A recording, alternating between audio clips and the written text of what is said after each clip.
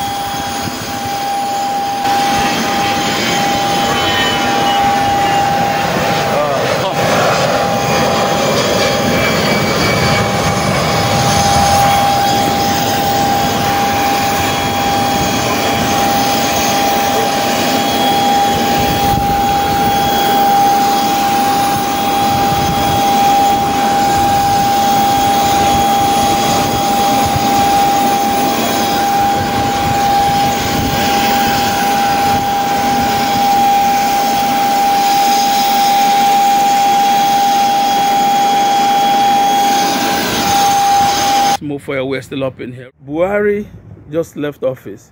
Few days after he left office, Tinubu arrested the governor. Tinubu had a meeting with the CBN governor a few days ago.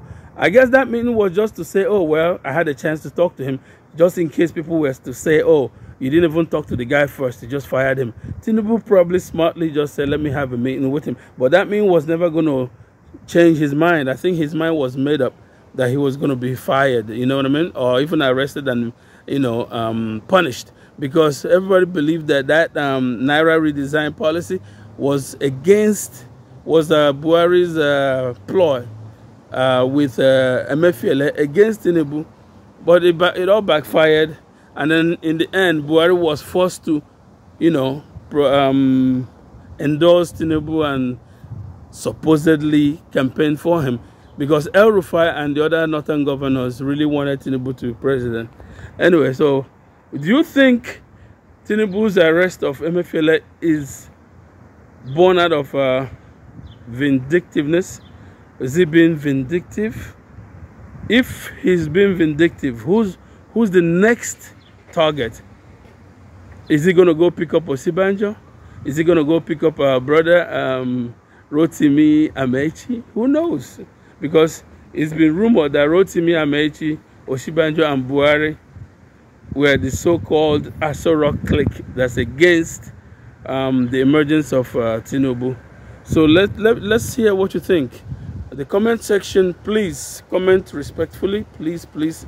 Our pages do not, all our media for, uh, platforms do not accept or and do not promote violence.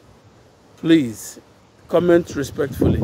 And also, if if um, were to be tried, do you think he will get a fair trial in Nigeria?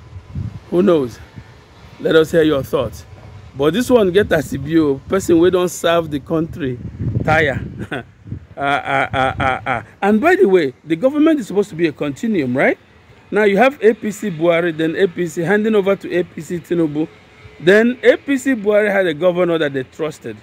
Then Buhari says he trusted Oshiba, um, sorry, Tinubu. Tinubu said he trusted Buhari. Boom. And their senses, their senses of judgment, right? Good.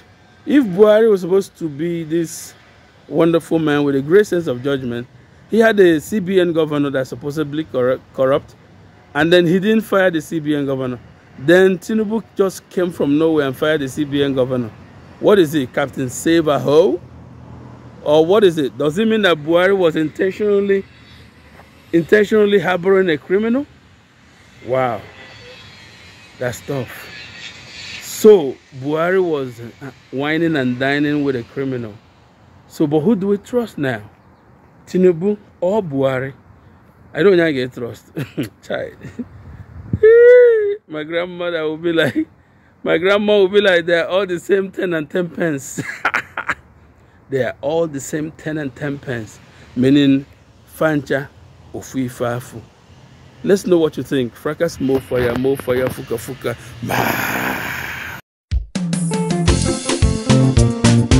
Bar Media Pinnacle Entertainment.